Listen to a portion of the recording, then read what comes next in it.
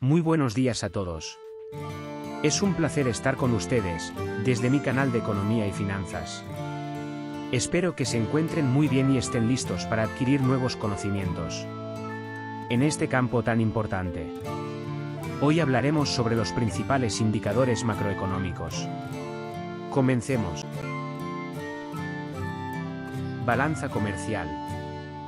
La balanza comercial se refiere a la diferencia entre el valor de las exportaciones y el valor de las importaciones de un país.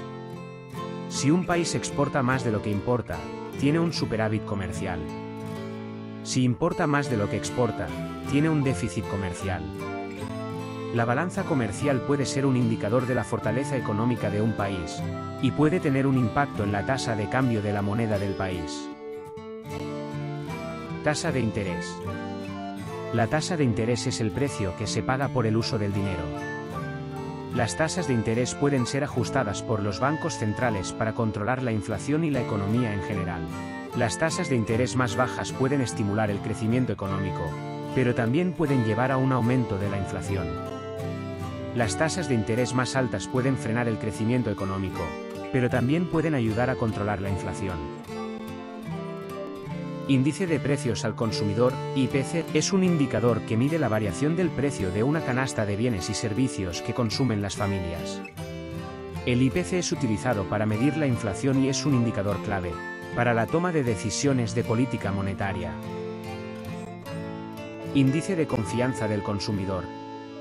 El índice de confianza del consumidor mide la opinión de los consumidores sobre la situación económica actual y futura. Es una medida importante de la confianza en la economía y el gasto de los consumidores. Este índice puede proporcionar información valiosa sobre las tendencias de consumo y la confianza de los consumidores, lo que a su vez puede influir en las decisiones de inversión y gasto de las empresas y los consumidores. También se considera un indicador adelantado, lo que significa que puede dar pistas sobre la dirección futura de la economía, antes de que se reflejen en otros indicadores más rezagados, como el PIB o el empleo. Índice de precios al productor, IPP. Mide la variación de precios de los bienes y servicios producidos por las empresas. El IPP se utiliza para medir la inflación desde la perspectiva de los productores.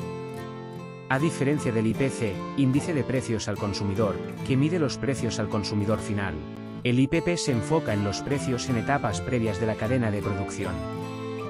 Para la construcción de este índice, se utilizan los precios que proveen las empresas, relativos a los bienes y servicios representativos de la producción de un país. Luego el índice se calcula en forma ponderada, teniendo en cuenta los productos y servicios, de mayor importancia o peso, en la economía.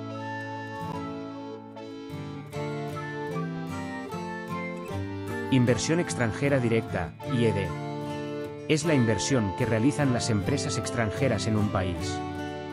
Es un indicador importante de la confianza de los inversores extranjeros en la economía de un país.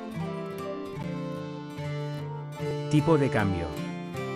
El tipo de cambio es la tasa a la que se intercambian dos monedas diferentes.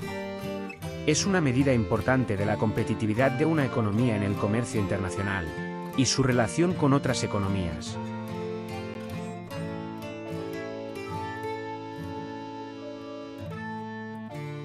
Si te ha gustado este vídeo, asegúrate de suscribirte a nuestro canal y activar la campana de notificaciones, dando like y compartiendo con amigos y familiares, para que puedan beneficiarse de nuestra información económica y de nuestros consejos financieros. Que tengas un excelente día, y nos vemos en el próximo vídeo.